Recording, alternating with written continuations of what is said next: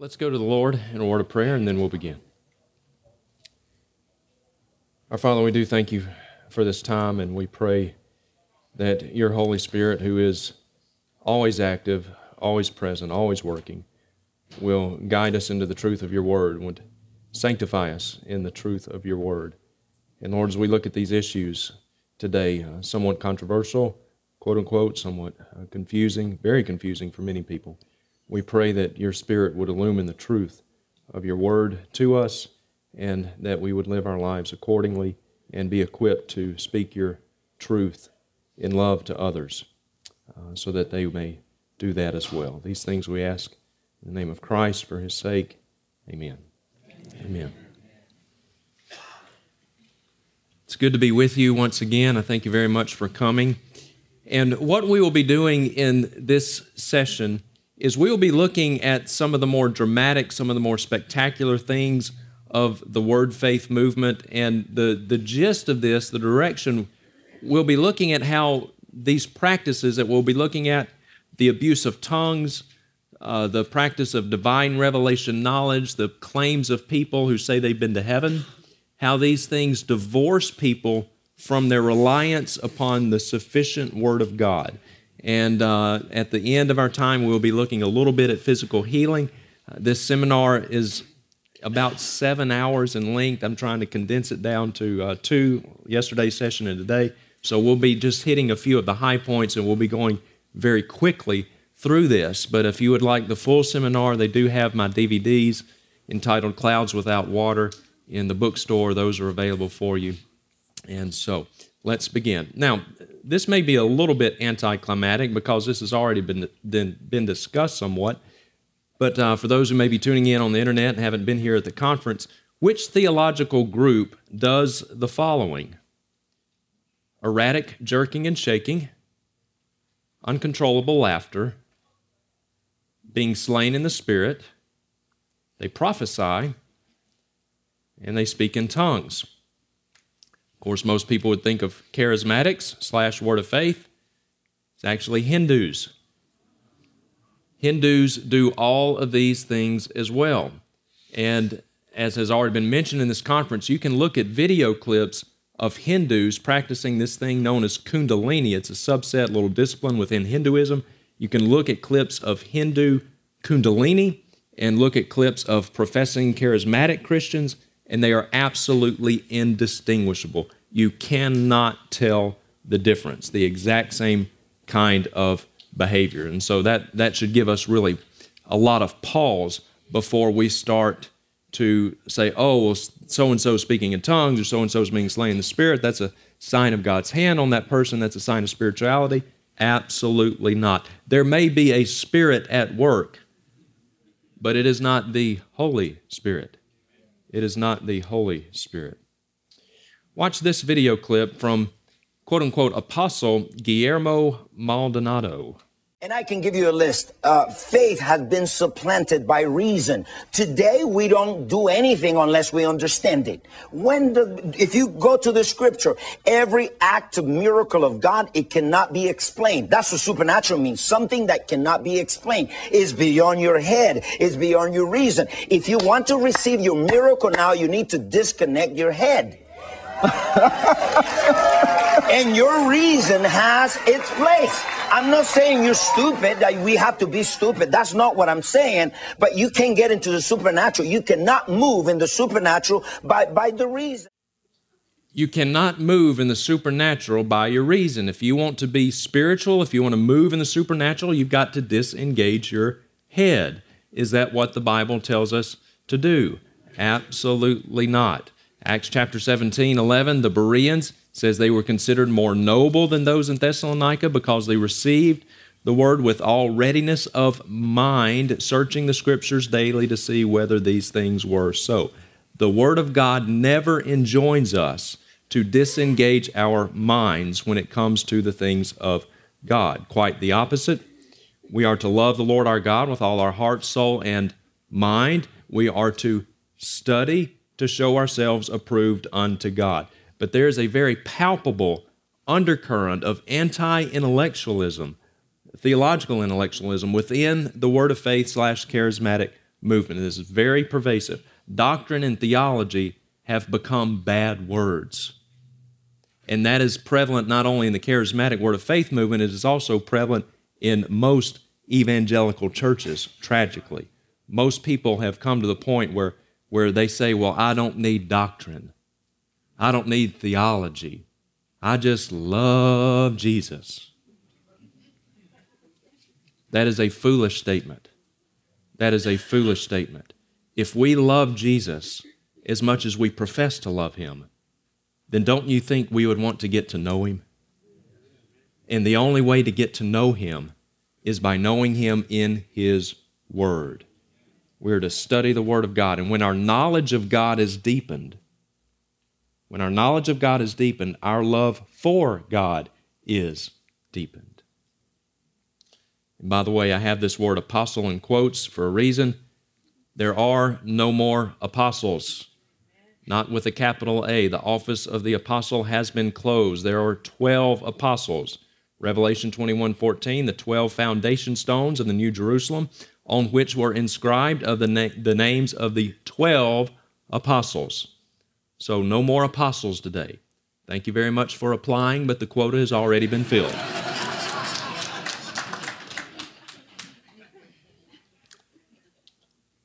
Briefly, I want us to look at the gift of tongues. The gift of tongues.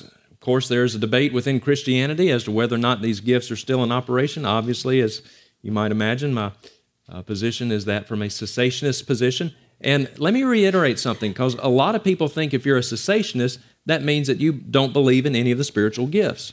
That's not cessationism. Beth Moore thinks that's cessationism, as she has defined it, but that's not cessationism. Cessationism is not the belief that all of the spiritual gifts have ceased, only that the apostolic gifts have ceased. Tongues, interpretation of tongues, prophecy in the sense of foretelling the future, and healing. Those gifts are no longer in operation. The gifts of mercy, the gifts of teaching, the gifts of exhortation, administration, all of those gifts very much still in effect. But we have a few here, I have a few items here dealing with the gift of tongues, just kind of in a general nature. We're going to blow through these real quickly, but uh, just some parameters for this gift. Number one, as we've already looked, tongues are not unique to Christianity. They're not unique to Christianity.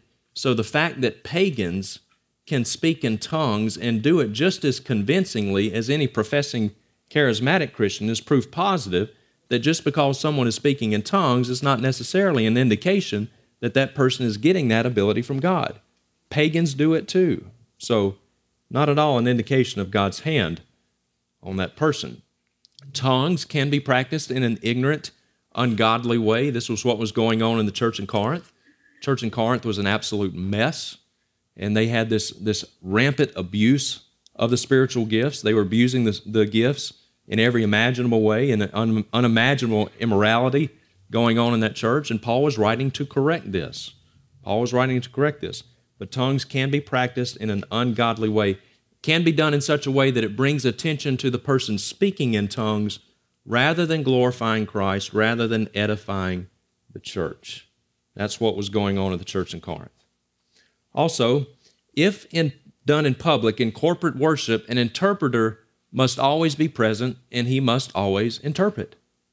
And so, if you're in a church and there's a group of people speaking in tongues all at once and no one is interpreting, that's well outside of biblical parameters. That's not of God. Paul says that it must be done by two or at the most three, each in turn, and one must always interpret. And if that's not what's going on, then that is outside of biblical parameters. It is not of God. And of course, we argue that that gift has ceased anyway, no longer in operation. Also, it is false that all believers should speak in tongues. Some churches teach that if you are saved, your salvation will be evidenced by you speaking in tongues. And if you don't speak in tongues, well, then you must not be saved. But that is patently unbiblical. The Apostle Paul asks a series of rhetorical questions. He says, All are not workers of miracles, are they? All do not teach, do they? All do not speak in tongues, do they?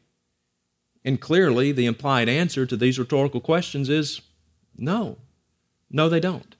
We can no more say that every Christian should speak in tongues than we could say that every Christian should have the gift of teaching, or every Christian should have the gift of mercy. Every Christian does not have every spiritual gift.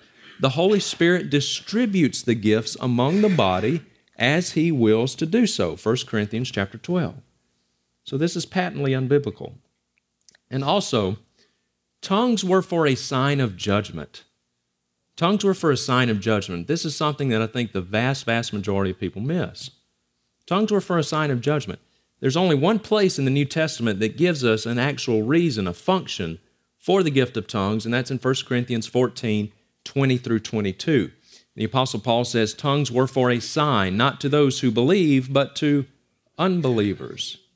Now, what did Paul mean by that? Was, was Paul indicating that when a lost person sees you speaking in tongues, they will be so impressed by that ability that they will just have to come to know Jesus as Savior and Lord? Not at all. Not at all. And we know that because right here, Paul directly quotes Isaiah chapter 28. Well, what's going on in Isaiah chapter 28? Judgment. Judgment. One of the signs that God was bringing judgment on his people is that one day the Jews, the Hebrews, would look up and in their midst would be a group of people speaking a foreign language. Not unintelligible gibberish, but a foreign language, Babylonian, Assyrian, what have you. And when they saw that, that was a sign that, uh oh, God's about to bring the hammer down. God's bringing judgment. And this is what Paul quotes when he gives us a reason, a function for the gift of tongues. And that's what was happening in the book of Acts. Acts chapter 2, when the Holy Spirit fell, the day of Pentecost, and these men began to speak in foreign languages, that was a sign that God was bringing judgment on unbelieving Israel because Israel had rejected Jesus as their Messiah. They crucified him. And so, as a sign of judgment, God was showing that when these men began to speak in other languages, that was God's indication, his sign that his salvific gaze, if you will, his gaze of salvation was shifting away from the Jews to the Gentiles. And even to this day, Israel remains under the judgment of God. Not in a militaristic sense, not in a political sense. I'm not saying we should not support Israel, we absolutely should, but in a salvific sense. To this day, God is doing the vast majority of His saving work not among Jews, among Gentiles. Now, one day, God's salvific gaze will return to Israel. Romans chapter 11. He will return to Israel, but for right now, in a salvific sense, Israel is under the judgment of God. And also, tongues were known languages. We've made this point repeatedly. Tongues were not unintelligible gibberish. It was known languages. Now, to give you a little illustration of how this would have looked in the early church, let's kind of transport ourselves back about 2,000 years almost, and let's say we're at Grace Community Church in Jerusalem. Okay? To kind of illustrate what this would have looked like. Now, there's not only a gift of tongues or languages, there's also a gift of interpretation of languages. And the way this would have looked, to illustrate, Barney. Barney, okay, I just met Barney. Barney, the way this would have looked, Barney would stand up, and if the Holy Spirit gave Barney the gift of languages, all of a sudden Barney would be able to speak and say, I'm going out on a limb here and say that you don't know Swahili. Okay. So Barney would start speaking fluent Swahili, even though that's a language he doesn't know. Now, let's say I had the gift of interpretation of tongues. Then immediately I could translate what Barney said in Swahili, even though I don't know Swahili either. And then Barney would sit down And then Kevin would stand up. And Kevin, all of a sudden, the Holy Spirit gave Kevin the gift of tongues. And let's say Kevin started speaking in fluent Farsi. You don't know Farsi. Okay, so he's speaking in Farsi fluently, even though that he does not know that language. And then I, if I had the gift of interpretation of tongues, I could translate what Kevin said in Farsi, even though I don't know Farsi either. Okay? And then Kevin would sit down and that's how it would have looked. Is that what we see today in the modern charismatic movement? Not even close, not even remotely. not remotely.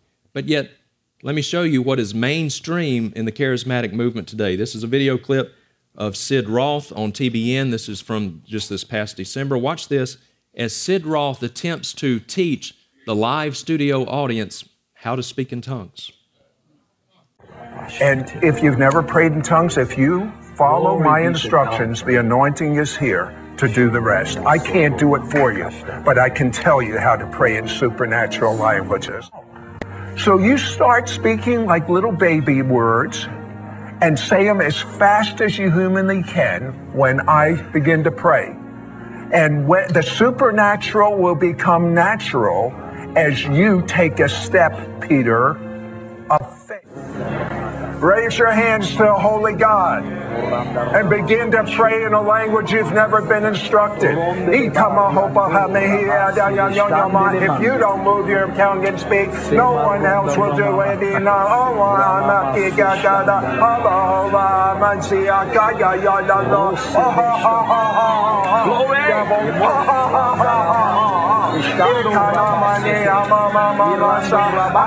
I know you don't know what to say. Make little nonsense syllables up. They're not nonsense, but they're the first words coming out of your spirit.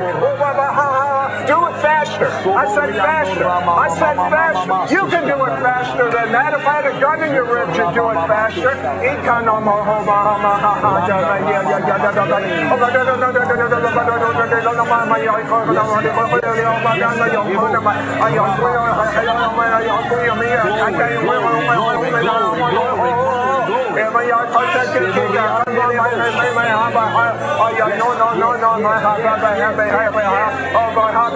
God is in Deaf ears are being opened right now in Jesus' name. Backs are being healed. Wrists, carpal tu- tunnel, you're healed. In the name Fingers, of in Jesus. Jesus' name, right now. In the name of. Jesus. Hallelujah. This is normal. Let the whole world be normal. You can do it faster than that. If I had a gun in your ribs, you could do it faster. Can't you just see the Apostle Paul saying something like this? do it faster, faster. If I had a dagger in your side, you could do it faster than that. Does that even remotely look like what we just saw illustrated? Does that even remotely look like what we see in the book of Acts? Absolutely not. This is this is pagan. This is the flesh. You know, and Sid Roth, he's not even any good at it. I've,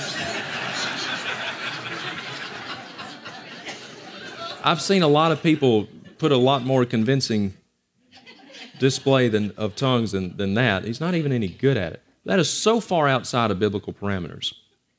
We do not see the biblical gift of languages being exercised today for a lot of reasons. For a lot of reasons. Number one, the function of the gift has already been fulfilled. No longer need for it. Those gifts have ceased. Uh, after we get past about the year AD 58, chronologically in the New Testament, no more tongues, no more interpretation of tongues, no more physical healing. Those gifts just seem to fade out of operation, even while many of the apostles were still alive. I want us now to look at heavenly encounters. It almost seems like if you want to make it into big time Christianity today, it really helps if you've been to heaven at least once.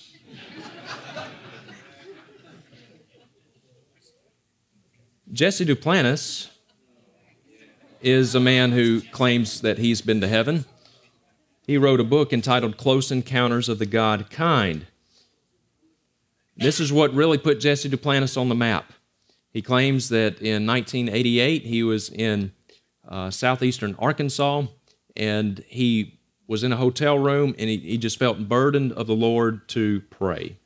And so he got down on his knees, just confused by what the Lord was doing. and He said, Lord, what? And right at that moment, Jesse says he was sucked up out of his room, found himself on a cable car, no less, traveling through space and time at a phenomenal rate of speed. And there was a blonde haired angel on the cable car traveling along with him. And when the cable car finally came to a stop, the doors opened and Jesse steps out into heaven. And Jesse goes on to tell you about everything that he saw, everything that he heard while he was in heaven. Now, going through this quickly, the first real concrete clue that we have that something here is not right with Jesse's trip to heaven is what the angel on the cable car told him. The angel said, You have an appointment with the great God Jehovah. This is our first concrete clue. Something's not right. Dear friends, Jehovah is not God's name. God's name is not Jehovah. His name is Yahweh, Yahweh. YHWH. Ancient Hebrew had no vowels, all consonants. And so the ancient name for God, the Hebraic name for God, is Yahweh, YHWH, the English equivalent of that. Now, what happened about the year 1520? There was a scholar by the name of Peter Gallatin, and Gallatin took the consonants of Yahweh, and then he took another name for God, the name Adonai, and he took the vowels of Adonai. This word Adonai means ruler, it means one who is in control. And basically, what Gallatin did was he took the consonants of Yahweh, the vowels of Adonai, and he smushed them together. Okay, and when he smushed them together, this is what he got. The Y in Yahweh drops down, as does the A in Adonai, the H in Yahweh drops down, the O in Adonai, the W, Yahweh, final A in Adonai, and then the final H, and you have the name Yahweh. And I'll give you three guesses, and two of them don't count as to what the English equivalent of Yahweh is Jehovah. So the name Jehovah did not even exist until about 500 years ago. Jehovah is not God's name. Next time a Jehovah's Witness knocks on your door, you might like to share this information with them. They might find it very interesting. Jehovah is not God's name. Now, is it a sin to call God Jehovah? I don't know. It's not a sin, but maybe it's time we get on a first name basis with the creator of the universe. His name's Yahweh. The point, though, of the matter is this is that an angel would have known better. An angel would have known better. An angel would never have said, You have an appointment with Jehovah. If anything, assuming you can get past the whole cable car deal, he would have said, You have an appointment with Yahweh. So an angel would have known better, but Jesse Duplantis apparently did not, gives himself away. Going to heaven is rather, rather lucrative business. This is Jesse Duplantis's parsonage. My wife and I drove past it earlier this year and, and took a picture down in Destrehan, Louisiana. 35,000 square feet. Not 3,500, 35,000 square foot parsonage. But to be fair, only 32,000 of those square feet are actual living space. Other 3,000 square feet, that's his garage. So, nothing wrong, dear ones, with having material wealth. If you've worked hard for it and God's blessed you to keep some of the fruits of your labors, that's fine. But when your wealth is gained off of distorting the gospel, when your wealth is gained off of exploiting the poor and the sick and the desperate and the widows, there's a lot wrong with that. It's not just the charismatics that say they've been to heaven, some of them are Baptist. Don Piper, author of 90 Minutes in Heaven. Don Piper's a Baptist preacher, and he had a car accident in 1989 in southeast Texas. A horrific car accident, no doubt about it, but he said upon impact, he died and he went and he spent an hour and a half in heaven. And Don Piper talks about all the people that he saw in heaven, but uh, he saw his great grandfather, or his grandfather, he saw his great grandmother, Hattie. He describes what they looked like in their physical bodies, which is problematic actually because the people in heaven right now don't yet actually have their glorified bodies. So that's a problem. But he talks about all these people, his high school buddy that he saw who died at an early age. But of all the people that he saw in heaven, there's one person he said he did not see. On page 33 of his book, he says, I did not see God. I saw no luminous glow that might have indicated his divine presence. True enough.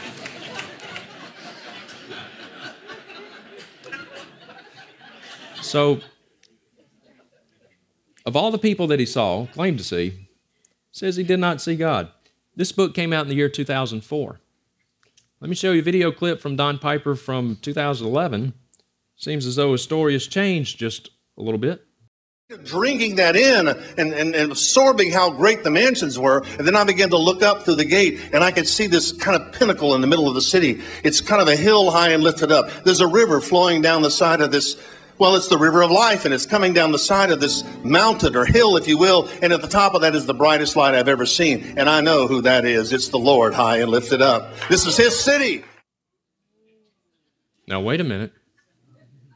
It says in his book he did not see God. Not only did he not see God, he did not even see a luminous glow that would have indicated where he was.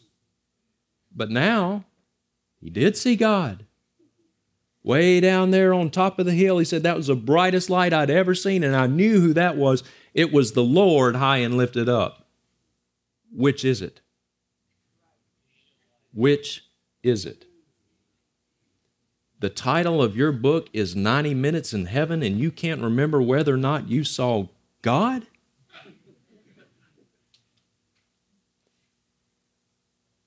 I'll be the first to admit that I'm bad with names and faces. I am. I admit it. I'm bad.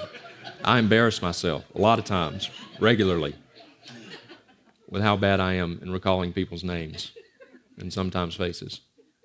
But as bad as I am, I would have to think that if I was taken to heaven, there's probably one person whom I would never forget meeting and that would be God. He's a liar. He's a liar. This book is sold somewhere in the neighborhood of 6 million copies. All in Christian bookstores. And I can't tell you how many people have, have uh, seen my presentation on this. Oh, but Justin, I, I bought this book in Lifeway. I bought this in Lifeway Christian bookstores, largest uh, Christian bookstore retailer in the world, connected to the Southern Baptist Convention. Surely you can trust that. You know, one of the most dangerous places for a Christian to go? Christian bookstore. You'd be safer on a SWAT team.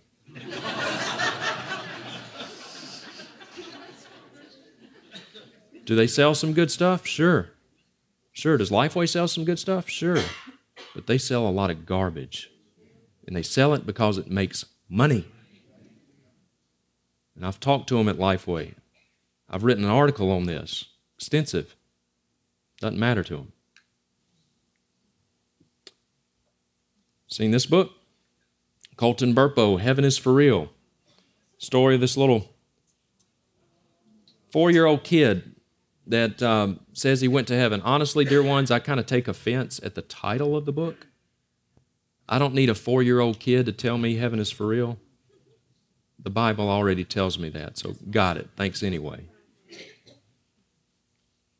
I've got video clips of this kid. This, this is made up. And the sad thing is, is this little kid's, well, he's not a little kid anymore. He's 14 years old now.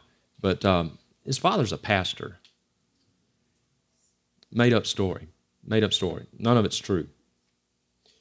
Dear ones, think about this. In the New Testament, there were only three men who were allowed a glimpse into heaven. Only three.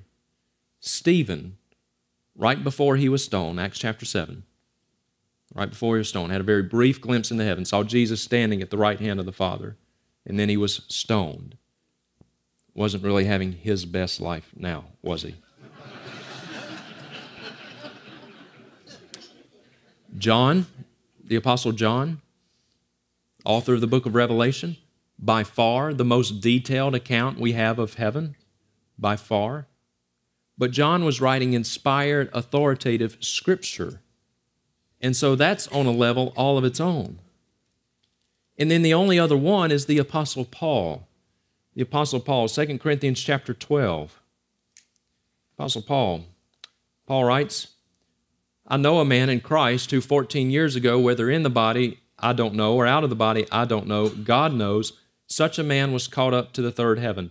And I know how such a man, whether in the body or apart from the body, I do not know, God knows, was caught up into paradise and heard inexpressible words which man is not permitted to speak. The Apostle Paul was speaking of himself, and he referred to himself in the third person because that is how humbled he was by what he had experienced. He didn't even want to talk about this in the first place, but his apostolic authority was being questioned. And so basically, to paraphrase, he was writing to Corinthians, he, he was saying, Okay, you, you question my apostolic authority? I know a man. He didn't want to talk about it at all. But notice, what do we know about what the Apostle Paul saw and heard while he was in heaven? Nothing.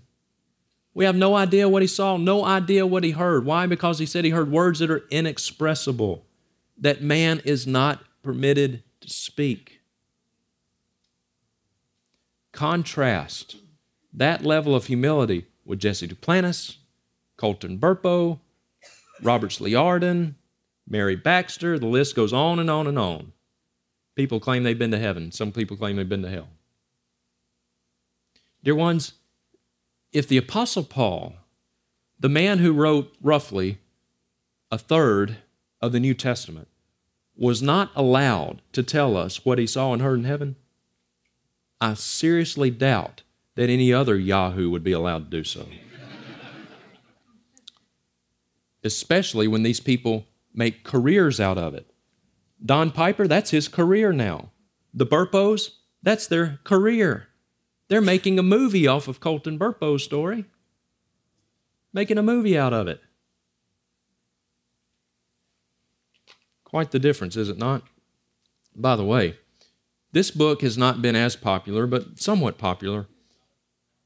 Alex Malarkey. Now, don't, don't, okay, I know what you're, please don't. Please don't. Please, please don't.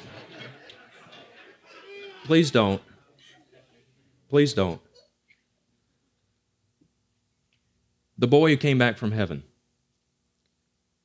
Alex was a little boy in a vehicle with his father, and they had a horrific car accident. And Alex was left paralyzed and now is almost completely helpless physically will never recover, will never get any better. This happened to Alex when he was six years old. Alex is now 15, I believe, 14, 15 years old. What's interesting about this book, it wasn't written by Alex. It was written by his father, Kevin Malarkey. Kevin has made this story up. You know how I know that? because Phil Johnson and I have spoken with Beth Malarkey, Alex's mother. And this story is not even true. Alex, the boy, pleaded with his pastor when this book was coming out and was becoming very popular, pleaded with his pastor, lying in his hospital bed, mind you, you've got to tell your church the truth about the book. It's not true.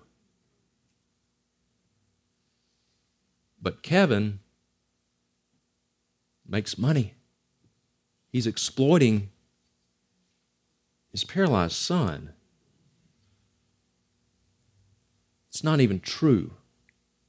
Doesn't keep quote unquote Christian bookstores from selling it.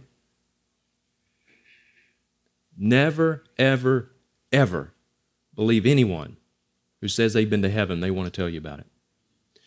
Because all of these accounts, all of them, all of these accounts give us supposed details about heaven that is not in the Bible. Okay?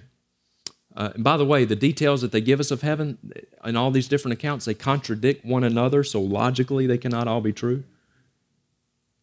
You know, uh, Colton Burpo says that everybody in heaven has wings, and Jesus moves up and down like an elevator, and the Holy Spirit is blue you know, like what is he, a smurf? You know, I mean, they give us details about heaven that are not in the Bible. Now, in theory, in theory, if these people have really been to heaven and they come back and they give us details about heaven that are true, accurate, things that they have seen, and they report them accurately to us, then in theory, whatever they tell us about heaven should be just as authoritative as any verse in that book. So we should add that to Scripture. If Jesus really does move up and down like an elevator, if the Holy Spirit really is blue, if people really do have wings, then, then we should add that to this book. There's only one problem with that. This book says, do not add to this book. And then we have to ask the question well, what about all the people who died before they had a chance to read 90 Minutes in Heaven? Before they had a chance to read Heaven is for Real? Did they have insufficient revelation of heaven? Well, I guess they did. Because you see, now we've got more information about heaven than all the people who died before they had a chance to read these books. Aren't we privileged? See the problem we're having here? Open canon of Scripture. And nowadays, when people want to learn about heaven, where do they go? Do they go here? No. They go pick up 90 Minutes in Heaven. They watch Close Encounters of the God Kind. They read Heaven is for Real. They don't go to the Bible, that's too hard. Dear friends, anything that divorces people from their reliance upon the Word of God is not the work of the author of the Word of God. Anything that diverts our attention away from Scripture is not coming from the author of Scripture, it's coming from the enemy. Are these people being used by Satan? You better believe they are. You better believe it. We've gotten to the point where the Bible is just no longer enough. Many of us have gotten to the point where we feel like God needs us. God needs us. Watch this from Kenneth Copeland people that get all upset at preachers who preach prosperity never have taken the time to pray and see if God wanted them to prosper financially for some reason or another. God needs you saved. He needs you full of the Holy Ghost. He needs you well and He needs you strong and He needs you rich. Dear ones, God loves us but make no mistake about it, God does not need us. We, we need Him. And any man who's preaching a gospel that says that God needs us is preaching a different gospel. A different gospel. And to tag on to something that I said yesterday in the panel Q&A, God doesn't need us doesn't need Southern Baptist Convention or any other denomination. He doesn't need these things. God does not need TBN. He does not need Daystar. He does not need the Inspirational Network. It's time for the good guys to stop associating with the bad guys. It's time for.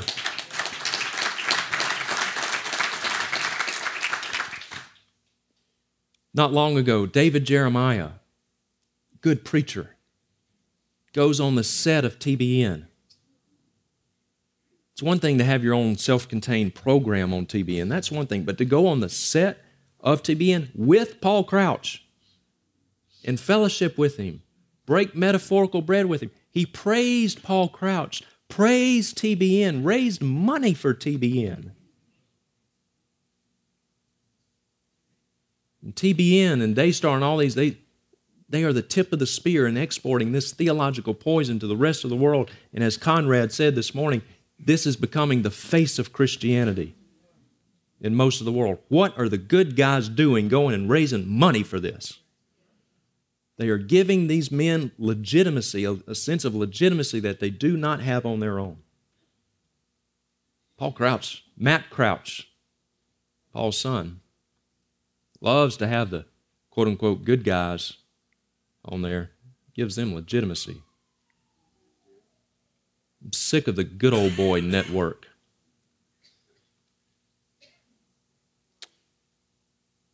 I want us to look at something that um, very dangerous Jesus calling. Jesus calling. Have you heard about this book? Written by Sarah Young. We're transitioning now to a, a topic entitled Divine Revelation Knowledge. How does God speak to us today?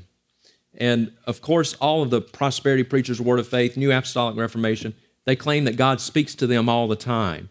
And some people will, will recognize the error of that, some people, but, but there's a softer version of this that flies in under a lot of people's radar, and Jesus calling is flying under a lot of ladies' radars right now, and men too, but especially ladies. Why am I so worked up about this book? Sarah Young, this is, by the way, 2012, number two best selling book of any genre, not just Christian, any genre. Huge. What makes this so dangerous? Well, let me show you some excerpts from the introduction of her book. This is no normal devotional book. Sarah Young writes During 1992, I began reading God Calling, a devotional book by two anonymous listeners. These women practiced waiting quietly in God's presence, pencils and papers in hand, recording the messages they received from Him. This was her inspiration, reading this book, God Calling, written by these two anonymous female mystics. They claimed to tune in just to the right frequency. They tuned into God's frequency, and God began speaking to them, and they were writing down what He said. Does that sound familiar? What happened about 2,000 years ago with the apostles? Sarah Young says, I knew that God communicated with me through the Bible, but I yearned for more. You see, the Bible was just no longer enough. The Bible wasn't enough. In theory, theologically conservative, evangelical Christians, whatever that term means nowadays, but uh, in theory, we have won the battle over the inerrancy of God's Word. But where the battle is raging today is over the sufficiency of God's Word. And you know what? We're losing that battle. Big time. Sarah Young says, I decided to listen to God with pen in hand, writing down whatever I believed He was saying. Houston, we have a problem. so Sarah Young tuned in. She got to just the right frequency, and Jesus began calling Sarah Young and with pen in hand writing down what he said. Dear ones, if that is indeed what is happening, then Sarah Young is writing Scripture. She's writing Scripture. And when you read this devotional book, and it is light years ahead of any other devotional book on the market, I mean, light years ahead. It's written in the first person for Jesus. I, Jesus, will do these things. I am such and such. I know this. I writes in the first person for Jesus. And when you read it, it's a very warm, fuzzy, emotional, effeminate Jesus. Ladies are eaten up with it. There's a shocking lack of discernment in the church today. Shocking lack of discernment. Now, bear with me. Watch this video clip. Um, a lot of supposed mainstream evangelicals today are claiming that God speaks to them. Watch this from Beth Moore. What God began to say to me about five years ago, and I'm telling you, it sent me on such a trek with Him that my head is still whirling over it. He began to say to me, I'm going to tell you something right now, Beth. And boy, you write this one down and you say it as often as I give you utterance to say it. My bride is paralyzed by unbelief. My bride is paralyzed by unbelief. Beth Moore also claims that God speaks to her, and even going so far as saying, Now, Beth, you write this down. Dear friends, that is profoundly dangerous. It's profoundly dangerous. All these people going around saying, God spoke to me. Let me tell you what he had to say. God spoke to me and told me to tell you that you need to do this. You need to do such and such. Pastor, God spoke to me and He told me our church needs to go this way. Is God speaking to people like that today? How does God speak to us? Well, through His Word. Let's go to the text Hebrews chapter 1, 1 and 2. Y'all are ahead of the curve here. Hebrews 1 1 and 2. God, after He spoke long ago to the fathers and the prophets in many portions and in many ways, in these last days has spoken to us in His Son, whom He appointed heir of all things, through whom also He made the world. The writer of Hebrews says that in the old days, God spoke in many different ways. Indeed, He did. God spoke to Elijah through a storm and thunder. I mean, excuse me, to Moses through a storm and thunder up on the mountain. God spoke to Elijah through a, a still small voice, which, by the way, was not some inner impression, still a voice.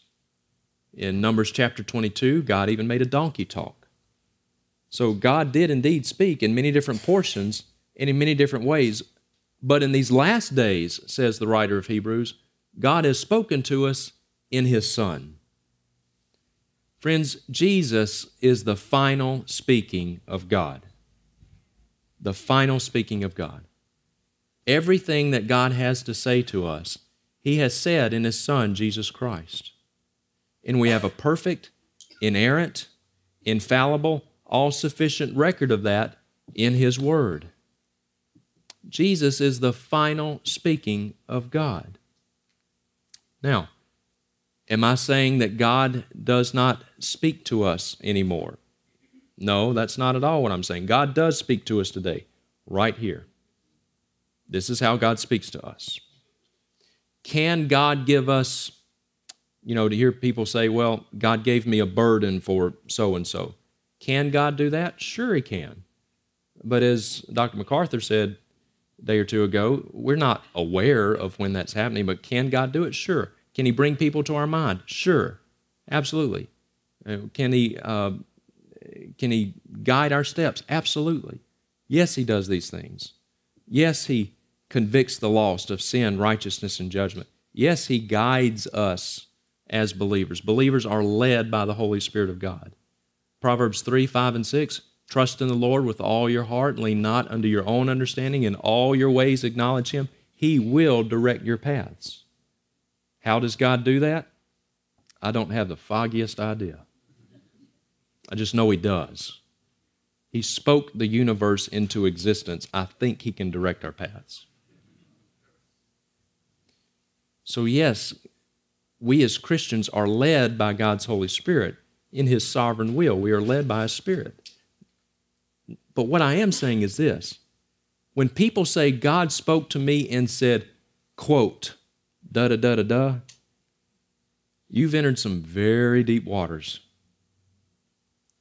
If God is speaking that way today in a direct, quotable sense outside of Scripture, then whatever God is saying should be just as authoritative as any verse in God's Word, should carry the same authority.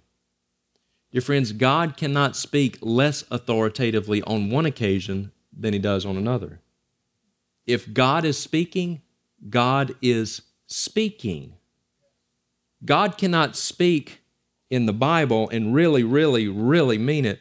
But when He speaks to us today outside of the Bible, you know, in this supposed still small voice or whatever, he still means it, but he doesn't mean it as much as he meant it here. How does that work?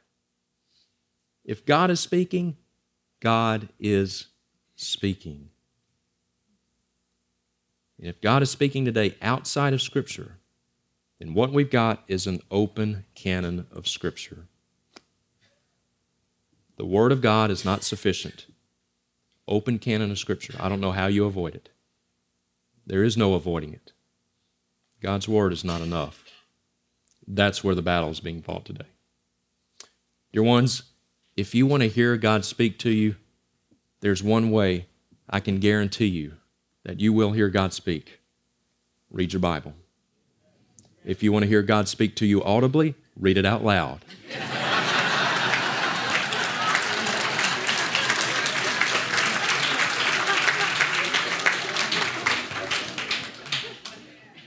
I promise you, I promise you, you'll hear him speak.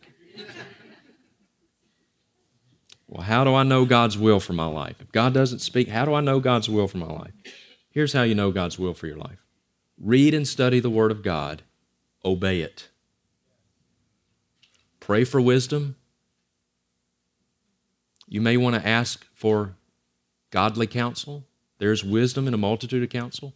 Men, go to some godly men you trust. Ask their counsel. Ladies, go to some godly ladies you trust. Ask their counsel. Look at the opportunities before you. make a wise decision, do whatever you want to do. Do whatever you want to do. You don't have to have this mystical experience. That's you won't find that modeled in Scripture. You won't find that modeled in Scripture. The Word of God is sufficient. I want us now to transition to physical healing, and we'll spend the remainder of our time looking at this physical healing. And uh, this is another way that, that the faith preachers, charismatics, really manipulate people and get them to, you, they begin to divorce people from their reliance upon God's Word. They do it in the other sense, in the other areas that we've already looked at, uh, drawing people's attention away from the sufficient Word of God. They do it with healing as well.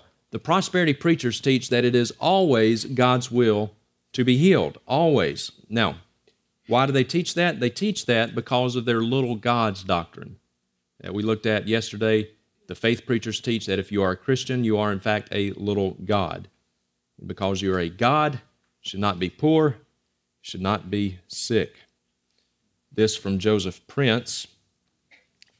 Joseph Prince says, You are destined to reign in life. You are called by God to be a success, to enjoy wealth, to enjoy health, to enjoy a life of victory. When you reign in life, you reign over sin, over poverty, over every curse, and over every sickness and disease. The Christian should never be sick. Or if you do get sick, physical healing is guaranteed as long as you have enough faith. As long as you have enough faith. Watch this from Jan Crouch. One day I was in my prayer garden and I was just thanking him. I just said, Jesus, I, I just thank you. I just thank you that you are the greatest healer. You are the greatest everything. And I thank you, thank you, thank you. And he said to me, No, Jan, thank you for receiving my gift Now, I know it's a little difficult to take anything seriously who comes from someone who looks like that.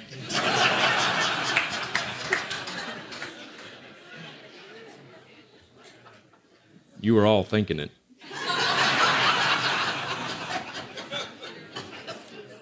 you know, and and the Bible has the Bible has some parameters for how women are to dress and adorn themselves. Men as well, by the way. That ain't it. but, dear friends, Jan Crouch had cancer, and she claims that Jesus healed her of her cancer. In actuality, she had treatment for that cancer and she had surgery for it. She claims that Jesus healed her and she was thanking him. He said, No, Jan, thank you. The very notion that Jesus would thank us for anything Friends, Jesus owes us nothing. We owe him everything. And this cannot be said from someone who knows Jesus. She does not know the Jesus of the Bible. She may know a Jesus that she has created after her own image, but she does not know the Jesus of the Bible. These people are not Christians. You cannot be indwelt by the Holy Spirit of God and teach such jaw dropping heresies that are rampant, rampant in the Word of Faith movement. Well, if it is always God's will to be healed, and a person prays for healing, but that healing does not come, then the question, of course, is whose fault is it? It's always God's will to be healed, and you pray for healing, but you're not healed. Who bears the blame for that? Well, Let's let Kenneth Copeland answer that question. Well, I don't understand why God healed them and He won't heal me. Could it be? By some stretch of the imagination. Oh, probably not, but could it be? that is your fault, not God's? oh, yeah. Say it. Oh, yeah. Lest there be any doubt as to what they teach. If it is always God's will to be healed and a person prays for that healing, but the healing does not come, then, dear ones, there's only one person who could bear the blame because it, cannot be God's fault because He is perfect. The only other one then to whom to look is the one who's sick. It's his fault. It's her fault. They don't have enough faith. They haven't sown a big enough seed into the ministry so they can reap a harvest. Maybe they're not saved. They actually teach that, you know. If you're if you're persistently sick and you haven't been healed, they teach that. You may not be saved. Of course, foundational to their teaching that healing is always God's will is their assertion that physical healing is provided for in the atonement. Now, there's a lot we could say about this, but just briefly, let's go to their go to text, okay? Isaiah 53, 4 and 5. Let's look at verse 5. But he was wounded for our transgressions, he was bruised for our iniquities. The chastisement of our peace was upon him, and with his stripes we are healed. So, this is their go to text. By stripes we are healed. Well, this is true. We are healed via the atonement. But what kind of healing is in view here? He was wounded for our transgressions, he was bruised for our iniquities. The primary context of Isaiah 53 is not talking about physical healing. It's talking about spiritual healing, not healing from sickness and disease, healing from sin. In fact, read Isaiah 53, beginning in uh, about midway through chapter 52. The whole thing is talking about transgression, sin, iniquity, not healing from sickness and disease. But what is the answer to the question? Is physical healing provided for in the atonement? Yes.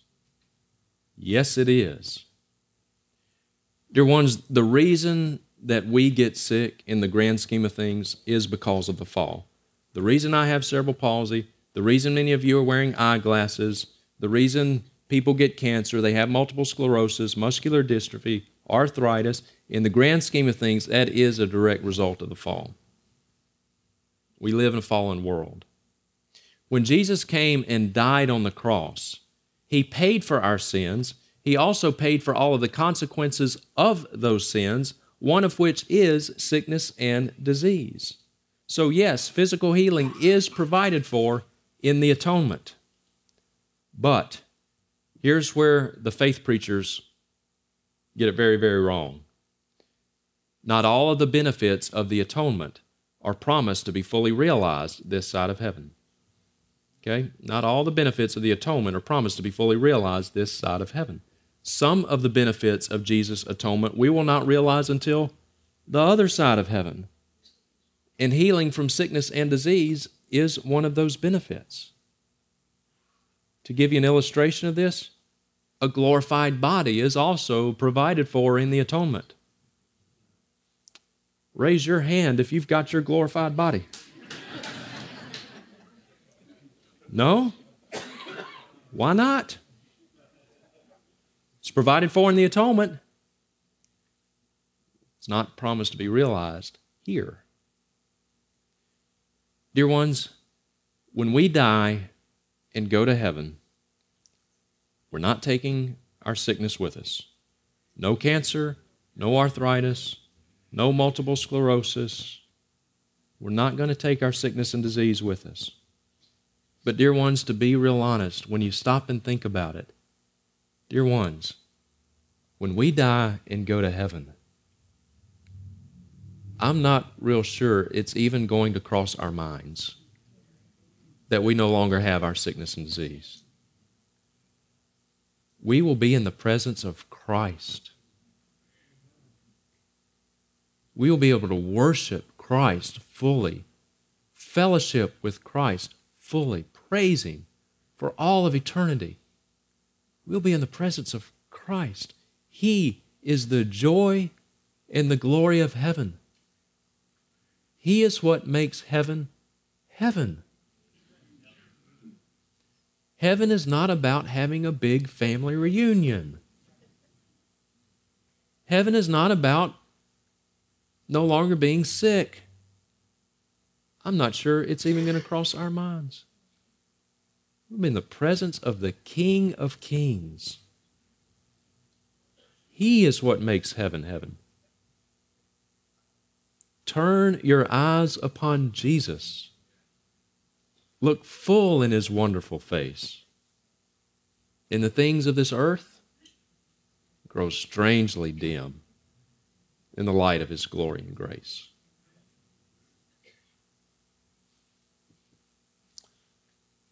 What of the biblical record? Can we look through the Bible and find examples of people who were faithful servants of God and yet did not walk in perfect health? Absolutely. Trophimus was left sick at Miletus. Epaphroditus, sick to the point of death. Apostle Paul encouraged Timothy to take a little wine for his stomach in his frequent ailments. I find that very interesting. Notice that the Apostle Paul did not write to Timothy and say, uh, Timothy, go see a faith healer. Be sure you sow a seed into his ministry so you can reap a harvest. Take a little wine for your stomach and your frequent ailments. Notice that when Paul was with uh, Trophimus, 2 Timothy, Paul left him sick. Paul was with Trophimus and he left him sick. That happened about the year AD 65, AD 66. Back up about 10 or 12 years to the year AD 54. What was going on in the year AD 54? The events of Acts chapter 19 were going on. What's happening in Acts chapter 19? Extraordinary miracles of healing being wrought at the hands of the apostles. Apostle Paul. So much so that handkerchiefs and aprons were being taken from the Apostle Paul, delivered to sick people at distances. God was healing the sick remotely through these handkerchiefs and aprons. Distances. Extraordinary miracles of healing. Year AD 54. AD 64, Paul writing to Timothy, no handkerchiefs and aprons for Timothy, no handkerchiefs and aprons for Trophimus, no healing. What changed? Could it be that even in that 10 year span, that the apostolic gift of healing had already faded out of operation? Interesting. Now, am I saying that God does not heal people today? Absolutely not. That's not at all what I'm saying. God does still physically heal people today but only when it is His sovereign will to do so. Can He do it? Yes. Does He do it? Yes. Is it the rule? No. It's not. It's much more the exception. But when He wills to do it, He does. But you know what? When God does that, He doesn't do it just for the comfort of the individual who's sick. He does it to glorify Himself and to further His purposes. He is not doing it through Benny Hinn. He's not doing it through uh, Pastor Chris in Africa. He's not doing it through Reinhard Bonnke. There is not a person alive today who has the apostolic gift of healing. Not one. There is not a person alive who has the gift of healing as what we see from the apostles, Peter and Paul. Nobody. The apostles seemingly could go up to people and heal people at will with confidence knowing that that person was going to be healed. Show me that person today. I want to see him. And if that person does exist, why is he not in the hospitals? Why is he not clearing out St. Jude?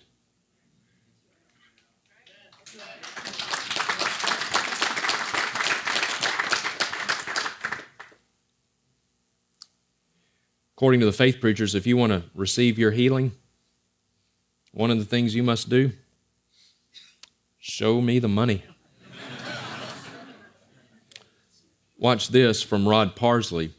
Rod Parsley wants you to sow a $54.17 seed into his ministry. Well, why $54.17? Well, based off of Isaiah 54:17, of course.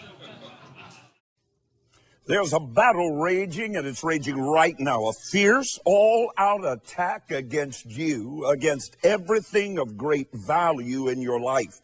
But my dear, dear friend, your commander in chief has full supremacy, absolute authority, and he's decreed and declared that no weapon formed against you shall prosper. On this broadcast, you're about to discover how to receive for yourself his miraculous anointing of provision and protection. Stay right where you are. I'm Rod Parsley. But I'm going to take you at your word. I'm going to stand up in faith and I'm going to sow an Isaiah 54 17 seed of $54.17. Let's go to the phone. Do it right now. Go to the phone. Right now, this is a moment of faith that may never, ever, ever be repeated again. But God is saying, if you're hearing this word, take hold of it. Seize this moment. Claim this word right now is your own word and say, God, that's me. That's my family. That's my business. That's my ministry. That's my church. God, those are my children. That's my marriage. So oh, I feel the adversary releasing his stranglehold. Are you going to your phone? $54.17. Are you going to your phone right now?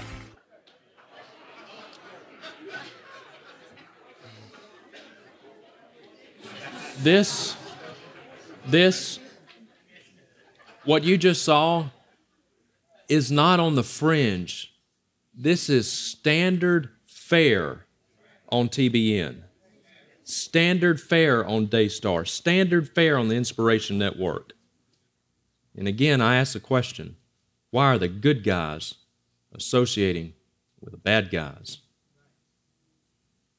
But Rod Parsley says, Are you going to your phone? Are you going to your phone right now?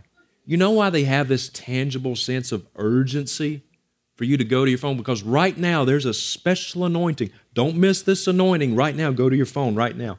They want you to hurry up and go to your phone because they know if you actually stop and think about the sheer absurdity of what it is that they're teaching, you might not go to your phone. But let's be fair. Let's look at this Isaiah 54 17. No weapon that is formed against you will prosper. Wow, it does say that. Every tongue that accuses you in judgment you will condemn. This is the heritage of the servants of the Lord, and their vindication is from me, declares the Lord. Huh. Well, it does say that. Well, well a couple things. One, 5417.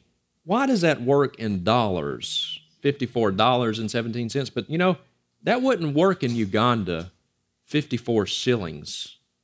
You know why it wouldn't work in Uganda with 54 shillings?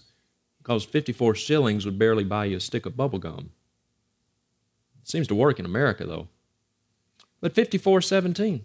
Dear friends, there is nothing inspired by the chapter divisions and the verse numbers. There's nothing inspired about 5417. The content is inspired, the chapter divisions and the verse numbers are not.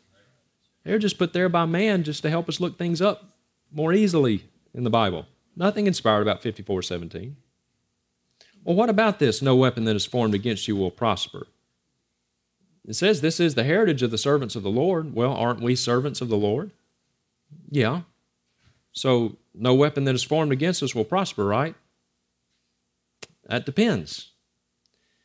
Seems to me that the weapon that was formed uh, to lop off the head of the Apostle Paul, that weapon seemed to prosper. Uh, the, the nails that attached Peter to the cross, those weapons seemed to prosper. Attached our Lord to the cross, those weapons seemed to prosper. But what does this mean? Well, think of it this way it's kind of like the atonement. Is this a promise for us? Yes. When will it be realized?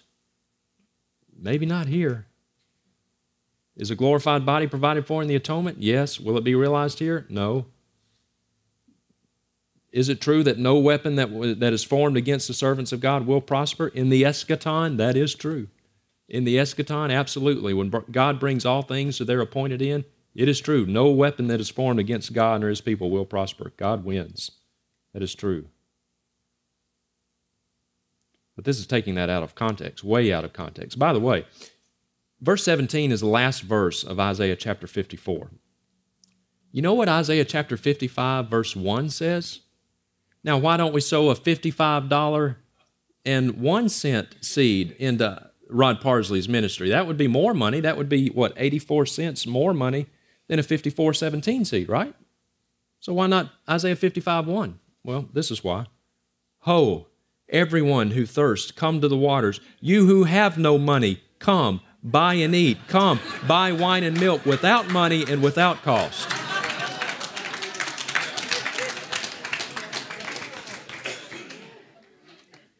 That's why he doesn't want you to look at Isaiah 55, verse 1. He's a charlatan. He's a charlatan. He's an American version of a witch doctor. So is Benny Hinn. So is Kenneth Copeland. So is Jesse Duplantis. All of these prosperity preachers, they are charlatans. Their most egregious offense is that they distort the gospel that's their first offense.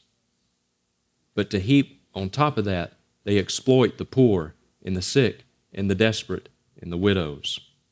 If you have heard Dr. MacArthur's sermon on the widow's mite, very good if you haven't, by the way. Um, it's entitled Abusing the Poor. And basically, the thesis is that this widow was not to be commended. You know, she wasn't doing a good thing. This widow was being exploited by a false religious system. That's what was happening with the widow's mite. This widow was being exploited. And to show you that the same thing that was going on 2,000 years ago is going on today, watch this video clip, short clip from Mike Murdock. Mike Murdock, watch this. There is a widow who is watching Daystar, watching us right now. And you're sitting there, and your thoughts are, wow, I wish I was young again and I wish I had a business, but I'm on a fixed income. And I don't know where I would get the $58. That's what makes it faith. That's what makes it faith. If you didn't hear the first part, Murdock said, There is a widow watching me right now. Doesn't know, fixed income, doesn't know where she's going to get the $58. That's what makes it faith. The same thing that was going on 2,000 years ago is going on today. These people are charlatans. And it's about time we stand up and draw a line in the sand. It's about time we call out the wolves for what they are. And it's about time we start, we stop fraternizing with the wolves.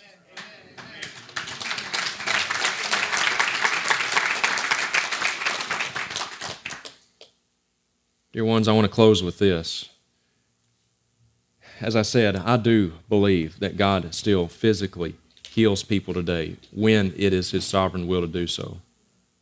But it is not always God's will to be healed. We saw from Scripture, and there are many other examples we could cite. There are many people in the Bible who were faithful servants of God, loved Him, and yet they were not healed. Paul himself, Galatians chapter 4, had a bodily illness. Not the thorn in the flesh, Galatians chapter 4. It is a matter of biblical record that not everyone who loved God served Him in perfect health. But God does heal. And so if you are sick, if you have a loved one is sick, there is nothing at all wrong with praying that God would heal you or your sick loved one. There's nothing at all wrong with that.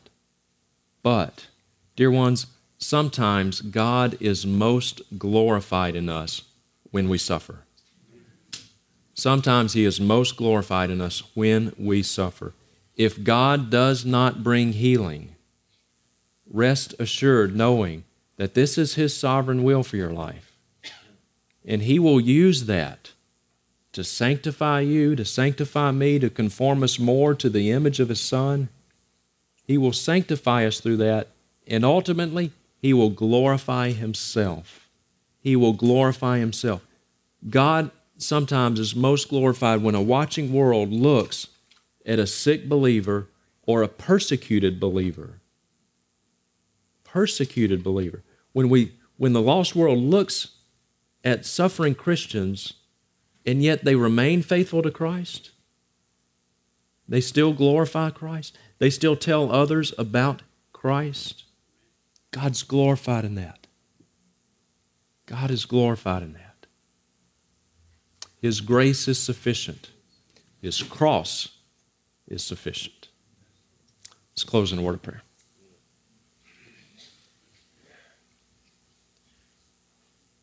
Father, we know that you are loving because your word tells us that. We know that you are merciful because you have demonstrated your mercy toward us in that while we were yet sinners, Christ died for us. Father, it would be wonderful if all we had to do was to preach the gospel, if we could. Uh, we, we resonate with what Jude said, that he, he wished he could just write about our common salvation. If we had nothing to do but to, to go out and preach the gospel, Lord, there are wolves among us. There have been wolves among us, among the church from almost day one. They remain here today. Lord, may we be equipped to speak your truth with confidence, to speak your truth in love. And may we care enough about people to tell them the truth. Ultimately, may we care enough about you, care enough about your name, your word, to represent you rightly to a watching world in our words, in our conduct. We pray these things in Christ's name. Amen.